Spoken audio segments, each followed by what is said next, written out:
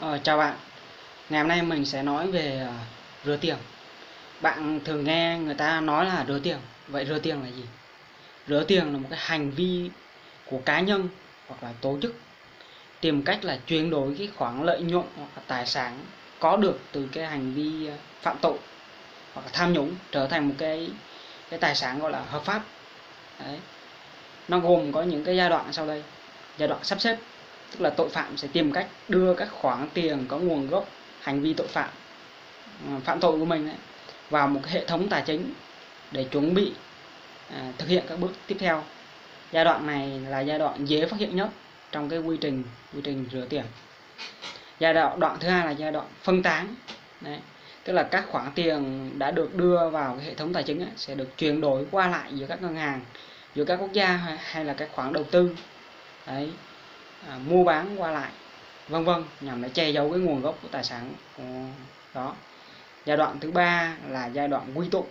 Đây là cái giai đoạn mà các khoản tiền chính thức nhập vào một nền kinh tế hợp pháp và có thể sử dụng cho tất cả các mục đích. Nguy cơ rửa, rửa tiền trong lĩnh vực ngân hàng hoặc là bất động sản ở Việt Nam được đánh giá là ở mức ở mức rất là cao. Về lĩnh vực ngân hàng đối với những cái đánh giá nguy cơ rửa tiền ở mức cao ấy, thì báo cáo cho biết là lĩnh vực này chiếm gần 90% tổng số báo tổng số báo cáo giao dịch hàng à, giao dịch đáng ngờ. Ở lĩnh vực à, ngân hàng ấy, thì nó chiếm 90% tổng số báo cáo giao dịch đáng ngờ.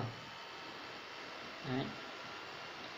bất động sản nó thu hút nhiều nguồn tiền đầu tư lợi với giá trị rất là lớn.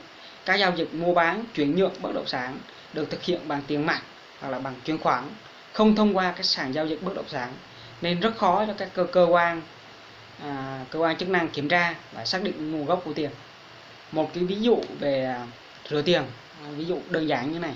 Ví dụ bạn có một khoản tiền rất là lớn ừ, khoảng à, năm sáu tỷ vậy đấy được chưa? Và bạn à, nếu mà bạn chuyển vào ngân hàng hoặc là bạn chuyển vào một cái thẻ duy nhất ấy, thì người ta sẽ nghi ngờ cái khoản tiền đấy là từ đâu mà có là à, do đâu mà trong khoảng thời gian ngắn mà anh lại có cái khoản tiền nó lớn đến như vậy. Người ta sẽ điều tra ngay. Vậy thì cách cách làm là đầu đầu tiên là gì? Đầu tiên là chúng ta phải giai đoạn sắp xếp tức là đưa vào tài khoản có nguồn gốc. Ví dụ như là chúng ta có nhiều thẻ ATM chẳng hạn. Đấy.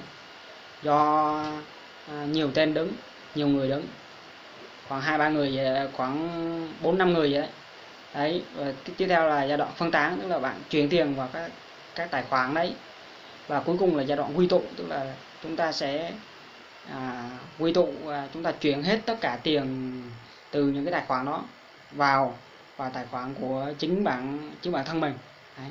đó gọi là rửa tiền đấy. và trong cái lĩnh vực bất động sản thì thu hút nhiều nguồn đầu tư lớn cho nên là các giao dịch ừ, đấy nó rất khó mà kiểm soát ừ, kiểm kiểm soát là xác định cái nguồn tiền. Mà cái ví dụ mình vừa nói chỉ là một cái ví dụ rất đơn giản thôi. Ví dụ rất đơn giản thôi. Ừ. có thể tạo ra nhiều cái ATM nhiều cái thẻ ngân hàng từ nhiều ngân hàng khác nhau rồi chuyển tiền vào cái cái những cái thẻ đấy. Chuyển từng ít từng ít từng ít. Đấy, phân tán tiền ra cùng một tài khoản chẳng hạn hoặc là khác tài khoản vẫn được. Đấy. tức là cùng một người hoặc là khác một người vẫn được. Đó gọi là rửa tiền.